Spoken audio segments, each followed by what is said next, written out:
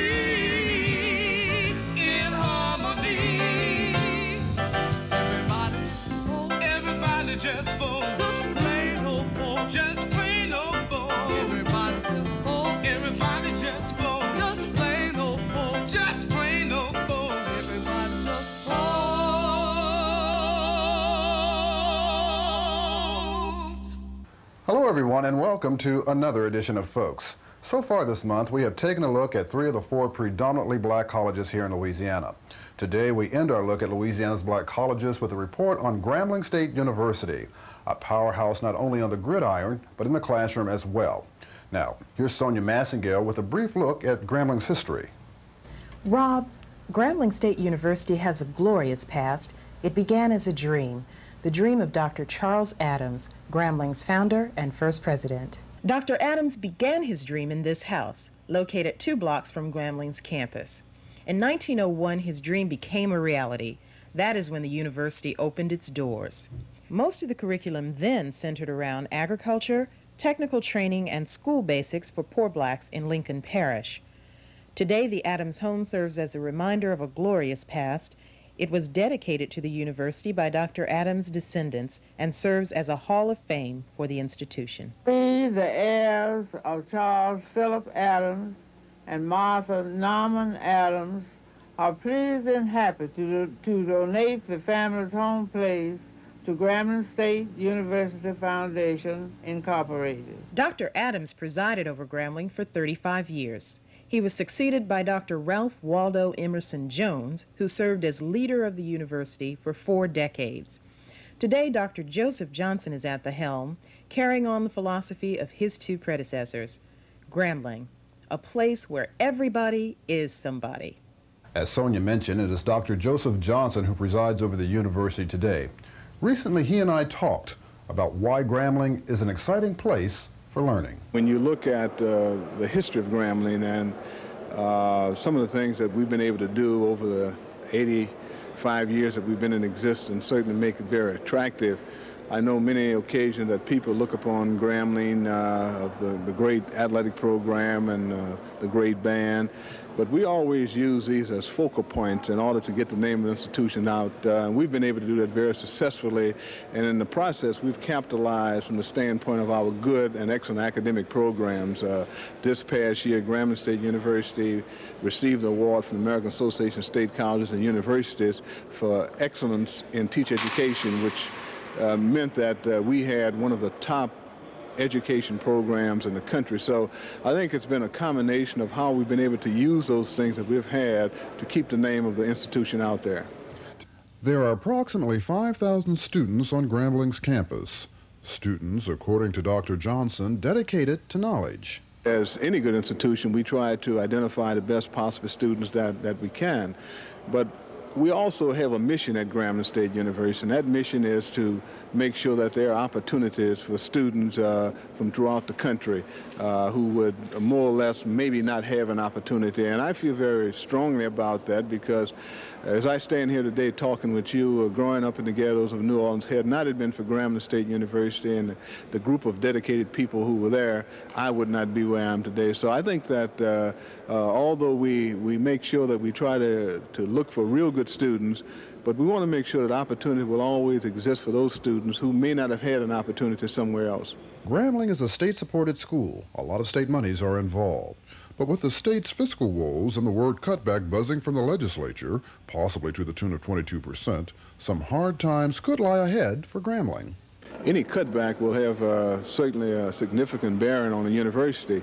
Uh, but if you're talking 22% uh, cutback, uh, not only in Grambling but any institution, that's a tremendous amount of, of money to make up, which would be close to $4 million uh, as far as we're concerned. So uh, that would have a significant impact upon us. If you're talking 4 to, to 10%, I think that it's going to be difficult, but I think that we may be able to work uh, uh, work with that particular range because we understand at Grambling that the state is in a very difficult posture. However, we also understand that Grambling has not had the benefit of many other institutions in the state. So any cutback that you might have on a Grambling and a Southern, you can rest assured that it's going to have a tremendous impact. But uh, we're going to do what we have to do to make sure that the name of the school and we can maintain excellence and quality in our programs. Not only are there proposed cutbacks from the state level, but federal cuts and financial assistance for students could impact student enrollment. Well, we've done uh, some tremendous uh, research on it. Uh, as it stands right now with the Gramm-Rudman Act, uh, we know that uh, there will be about 182 students uh, impacted. But the other part of the impact would be any increase in tuition, uh, as well as, uh, well, the cutbacks from the financial aid standpoint, whether or not the institution is capable of making up that difference. Uh, what we've been able to do at Grambling, and this has been a, a very, very integral part of my whole planning process is to make sure that we have a real good work study program with X number of dollars in there for students who really want to go to school and want to and want to work. So we say at Grambling, if you want to go to school and if you don't mind working, we can provide the opportunity for you. So uh, while it's going to be very difficult, we think that we'll be able to meet the needs of our students. But despite all the doom and gloom, Dr. Johnson remains optimistic about Grambling's future. Well, I see the future being very, very bright at Grambling State University uh, uh, within the last couple of years, and, and I would say due to the consent decree, uh, it has uh, provided us an opportunity to move the university much further than most people could have imagined.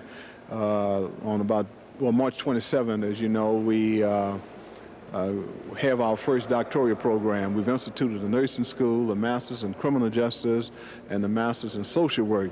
And, uh, and uh, we think that these are core programs, the MBA program is the other one. Uh, these are the core programs that we feel uh, that will move the university forward. Uh, we, we are constantly having enrollment increase. we've had the highest enrollment in the history of the institution last year, almost 5,000 students.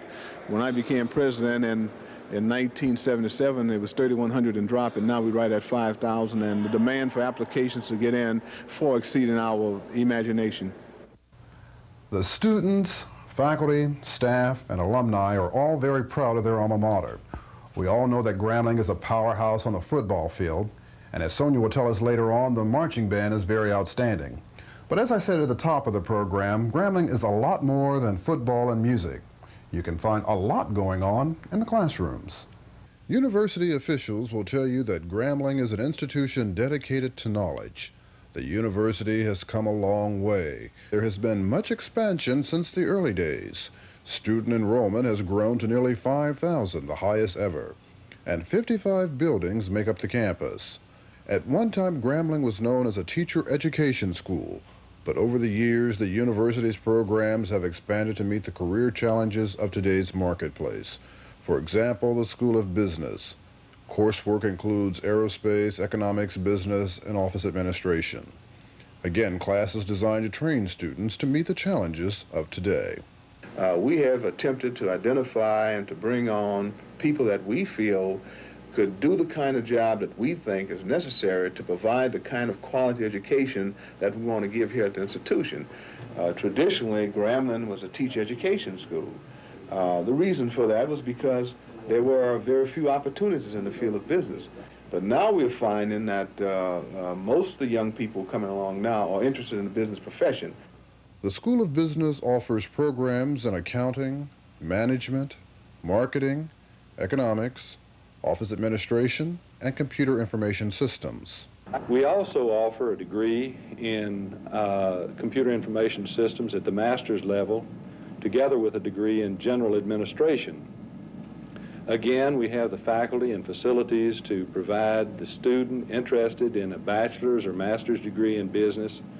Here at Grambling, an excellent faculty, excellent equipment, excellent services to make their educational experience a rewarding, exciting, and fulfilling one. As you have just heard, the School of Business places a lot of emphasis on the computer.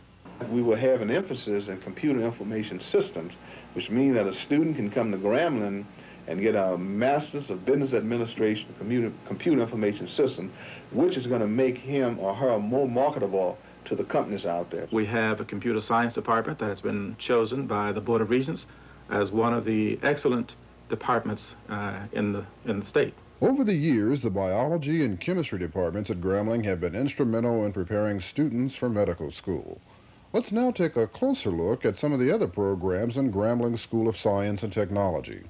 They include programs in community and general dietetics, rehabilitation counseling, and hotel and restaurant management. Each program is designed to make Grambling students attractive to a highly competitive marketplace. Our objective here is to design and implement programs that will provide excellent job opportunities for our students. And at the same time, we try to implement programs for which there is a job market. There are also two-year programs in automotive technology, building construction, electronics, and drafting. Another department in the School of Science and Technology often boasted about is physics. Over the last 10 years, the physics department has graduated over 10% of the black physicists in this country with undergraduate degrees. Officials at Grambling also boast about their School of Nursing. The curriculum begins with pre-nursing. I chose Grambling over several of the nursing schools because of the reputation it was developing. It's a new program, and it's an honor to be in the, on the ground floor of a new developing program such as this. We have an excellent faculty with an excellent reputation, each and every one of them, collectively and individually. Today, we have presently have over 300 students. We have students, uh, international students, we have other race students, and we have black students, and we're very proud to have them all as a part of our nursing program at Grambling State University. She has done something over there that uh, had not been done previously in the state. She had that program approved by the Louisiana uh, uh, Board of Nurses on the first try. And uh, we're very proud of that. Uh, Dean Smith is a very competent individual. Uh, we think that uh, we were very smart. It makes the president look good when you can identify good people like that. I feel that nursing is an excellent field for those looking for a sure job opportunity. There are many different divisions of nursing that you can go into, and I think that anyone who would go into would enjoy helping people. And upon graduation, I hope to wear my Grambling Tiger Stripes with pride. As we all know, nurses spend their lives helping others. Helping others, a theme that university officials say is reflected in every program on Grambling's campus. Another exciting program at Grambling State University is its criminal justice program. We feel that it's important that if, if we're going to have blacks within the criminal system or any group of people within the criminal system, then I think it's a responsibility of Grambling and other education institutions to have the kinds of programs to, to work with these people once they are incarcerated and when they come out. Grambling State University's Criminal Justice Department has been very fortunate in that we've been able to recruit faculty persons who are not only academically qualified, but bring with them the kind of practical experience so necessary when trying to relate positively with our students. This combination has enabled us to keep abreast of all the changes that have taken place in the various elements of the criminal justice system and also in the, helped us in the placing of our students in more than 26 states and the District of Columbia. The other plus that we have for the Criminal Justice Department is the close contact that we have with our students. Students who have left our department, who've gone on to be practitioners in the field, are constantly in touch with us when they make their career changes or additional choices, and even more so, the information that they continually send back to the department about what is expected of young persons once they get out into the field. This is Grambling's Academic Skills Center. It is designed to help students strengthen their skills in the areas of English, reading, and math. Along with the reading, writing, and mathematics laboratories, the Multimedia Center has a computer laboratory with 50 terminals connected to a mainframe that is located in the center. The computers are used exclusively for academic purposes. Our records in the center show that students who have successfully completed developmental courses and moved to regular college courses in English and mathematics pass these courses at a rate of 10% higher than students who were not required to take developmental education courses. What that Academic Skills Center has done for this institution, and it has been so, so very important, is that it has cut down on our attrition. Because before a youngster can move on to the regular academic program, if we identify through the ACT test or the Nelson-Denny test or any other test that we give over there that those kids have deficiencies, uh, we correct those deficiencies before they go to the regular English and mathematics and other courses. And we're finding that because of the Academic Skills, Skills Center, those kids, the transition has been much easier. And, and uh, I'm simply saying that uh, uh along with the library, that Academic Skills Center are the two greatest and the most important departments that we have at this university.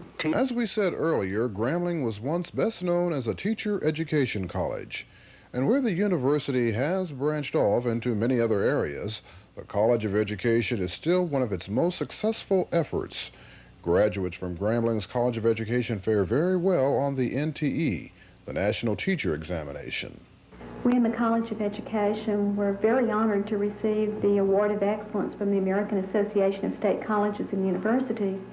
It was a national competition and the competition was keen and it did indeed make us proud that an external organization, a professional organization, acknowledged that our teacher preparation programs at Grambling are excellent, that our programs and our products are special. Over six years ago, uh, our new dean was brought in, and under the dynamic leadership of Dr. Burnett Joiner, the faculty and staff in the College of Education revised the ed curriculum, our built-in academic support systems, along with raising the standards, involved uh, faculty and administration from the College of Arts and Sciences. And this resulted in the College of Ed at Grambling receiving the Showcase of Excellence Award from the American Association of Colleges and Universities. I am also very pleased and happy, too, that we were one of 17 institutions to receive that award. These are just some of the many exciting programs at Grambling State University, programs that make it an attractive institution of higher learning. It is a side of Grambling that many people don't hear about. It offers students an academic environment in which university officials say they can learn, teach, and grow. We have an excellent faculty and staff and people who are really concerned about our young people. So we think that the philosophy of the school where everybody is somebody is certainly a true philosophy of this institution, and that's what we live by. We'll live by it and we'll die by it because... Over the years, many Grambling graduates have been featured on Folks. Just recently, there was 8th District Congressional candidate Faye Williams. And let's not forget Chicago attorney Thomas Todd. Here's what he had to say about Grambling. I think the two most significant things that happened to Grambling in the last 10 years uh, were one, the selection of Dr. Joseph Benjamin Johnson as the president of Grambling, and two, the consent decree. Uh, with Dr. Johnson's leadership uh, in using the consent decree as a beginning and as a stepping stone, Grambling has shown remarkable progress, not only in programs, but also in student census. Buildings are going up. Uh, there's an MBA program now. There's a nursing school and many, many other things. I don't want to say that we've uh, made a tremendous amount of progress because we are only catching up to what we should have had at least 25 or 30 years ago. But given the kind of progress that Grambling has made, the kind of leadership that Dr. Johnson has shown, uh, I think the sky is the limit for Grambling, not only uh, in the areas that uh, Grambling is traditionally known for, the legendary Eddie Robinson in athletics, but also in computer science, in developmental education, uh, in preparing teachers, uh, in nursing, uh, and maybe in the future in law and gerontology. Grambling is on the move, and I think that with the kind of leadership and the kind of people there, with the faculty and the kind of students and the spirit that's there, I think that the sky will be the limit. Yes, the philosophy of the university appears to be true. Grambling State University, a place where everybody is somebody.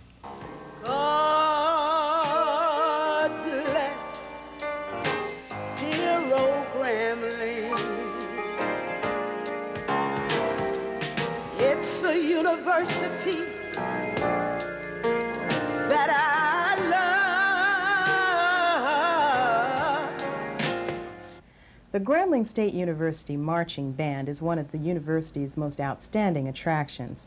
Not only is this a noted organization in this country, but they have a reputation known throughout the world.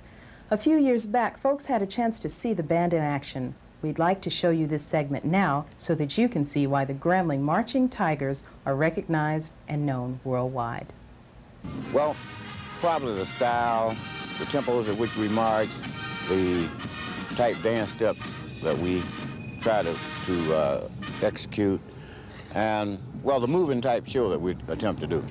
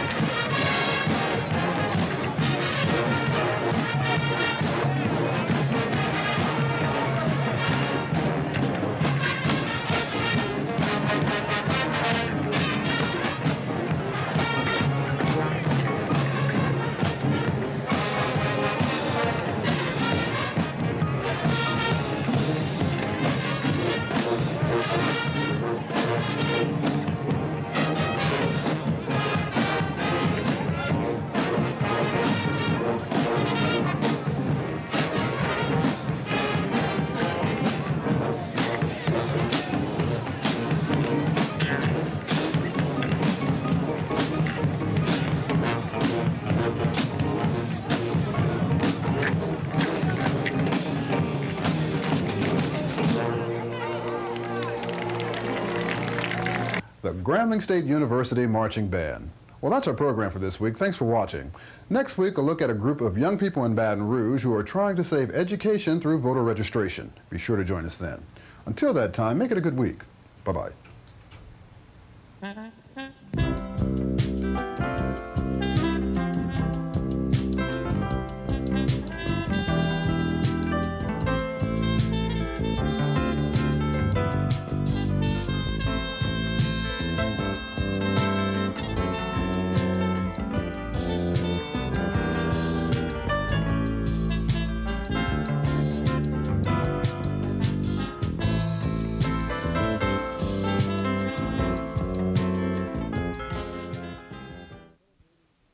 Folks is celebrating its fifth year on LPB. And to celebrate the occasion, we have had designed a five year commemorative poster.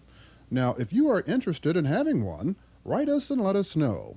Send your inquiry to Folks in care of Louisiana Public Broadcasting, 7860 Anselmo Lane, Baton Rouge, Louisiana, 70810.